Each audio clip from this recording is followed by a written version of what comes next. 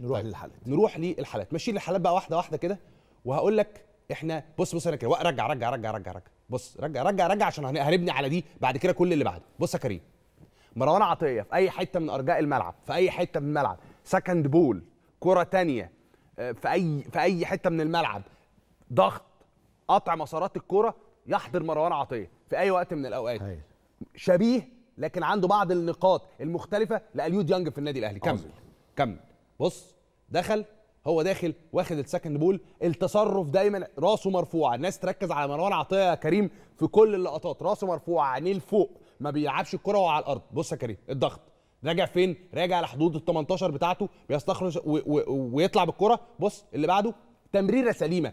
لقدام دايما. بس ارجع تاني ارجع تاني ارجع تاني ارجع ارجع. بص يا كريم قطع مسار الكورة. قلت لك اي قطع لمسار الكوره في فرقه الاتحاد السكندري واللي بيرجع الكوره بسرعة مع منوفيتش دايما مروان عطية. كمل كمل. قطع مسار الكوره والخروج تمريرة سليمة كالعادة. دايما تبص على مروان عطية تمريرة سليمة. بص قطع مسار الكوره تحرك.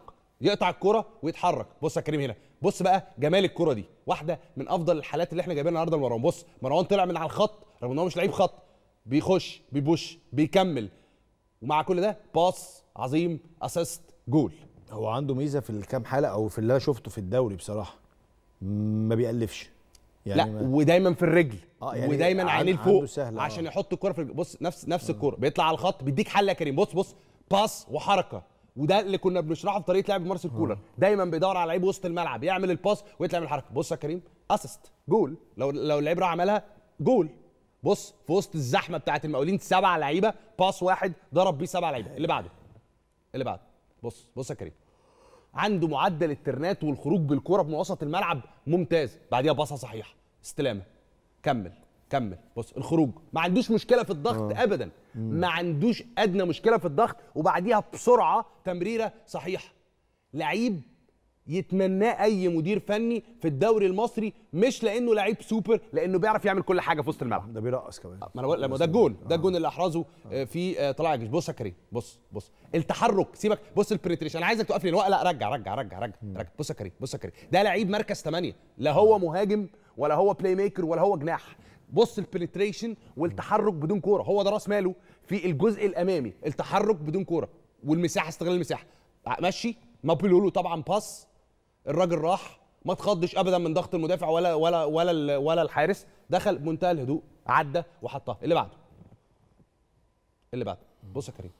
تاني. ما عندوش أدنى مشكلة في الضغط. هنا أنت بتتكلم على لعيب موجود دايما تحت. ما هو اللي هيسدد مش هو اللي شاط. بص مش هو اللي عمل pass وده اللي أنا بقوله لك معدل التسديدات يا كريم سبع سبع تسديدات على المرمى خلال ال 11 مباراة الأولى بمعدل من تسديدتين لثلاثه اجمالا في كل المباريات اللي لعبها نادي الاتحاد السكندري. اللي بعده الحالة اللي بعديها الحالة اللي بعدها تسديدة في مباراة أخرى. بص هتلاقي هنا هو مسدد كورة من المواجهة. هتلاقي الكورة اللي بعديها الراجل هيخش ما عندوش مشكلة خالص هيعمل الفنت تسديدة. اللي بعده اللي بعده. اللي بعده. مكمل لا، مكمل ممتاز. مكمل, مكمل على كورته. كمل كمان كمل كمان. اللي بعده. اهي دي الراجل مكمل. بص لحد فين؟ مكمل في ظهر أحمد عادل ميسي وما بيقولوا يدخل ما عندوش أزمة ما عندوش أي أزمة. مك... أي مكان في الملعب محتاجني هتلاقيني. ده هو- ده اللاعب رقم 8 ما هو ده اللي أنا بقول لك يا كريم. كولر بيدور ودي تصويبة تانية.